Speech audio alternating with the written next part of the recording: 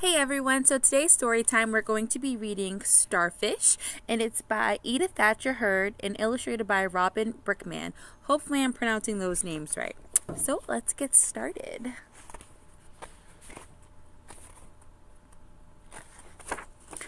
Starfish live in the sea, starfish live deep down in the sea, starfish live in pools by the sea. Some starfish are purple, some starfish are pink. And then this is the purple one, and then this is the pink one.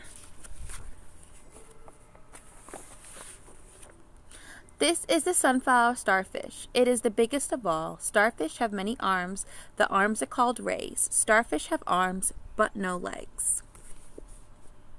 Imagine having like only our arms and no legs. That would be be kind of difficult to do things. But starfish don't need those. Starfish have feet but no toes. They glide and slide on tiny tube feet. They move as slowly as a snail. So we know that snails are slow, so starfish are clearly slow. The basket star looks like a starfish, but it is a little different. It does have tube feet it moves with, with its rays. It has rays that go up and rays that go down.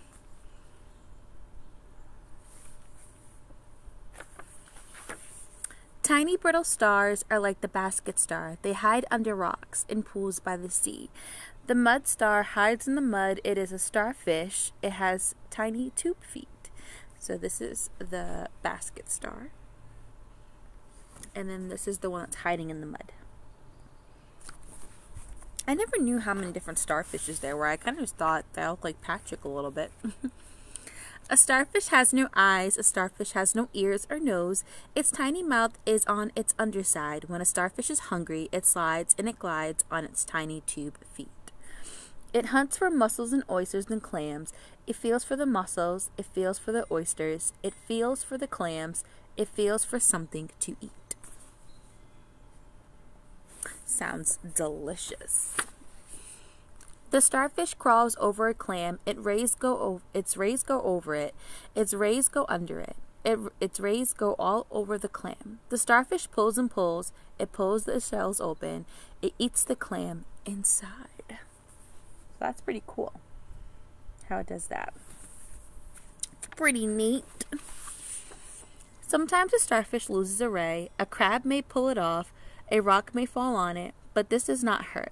It does not bother the starfish. The starfish must just grows another ray.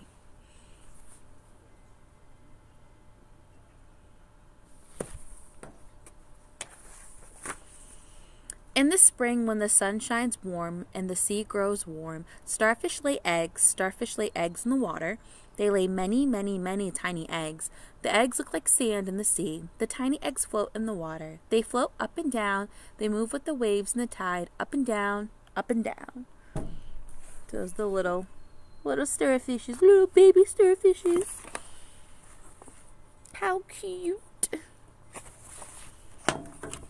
The tiny eggs change and grow. They float in the water. They move with the waves back and forth, back and forth. Then they sink into the bottom, and they grow into tiny starfish. The tiny starfish grow scratchy and hard. They grow little rays. They grow tiny tube feet to crawl on.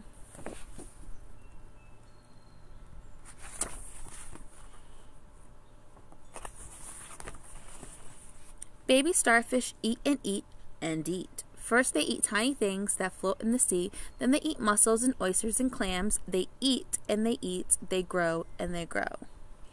Sounds like us. A lot of us like to eat and eat and eat. I know I do.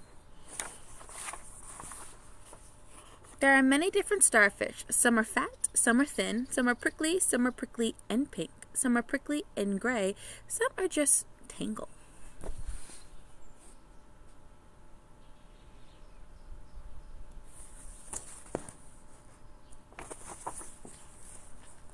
Look on the rocks by the sea. Look in the pools by the sea. Look for starfish and stars of the sea.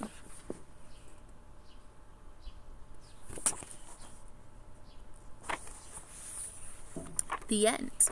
So, In the back of this, it says find out more about starfish and make your own starfish. So what I suggest you all to do, which I hope you enjoyed the story, grab construction paper or regular paper from your home, uh, get crayons, markers, or paint if you want to, and create your own starfish. You can do starfish decorations and hang them on your door, or different sea creatures, just something to do for fun. All right, have a great day. Bye.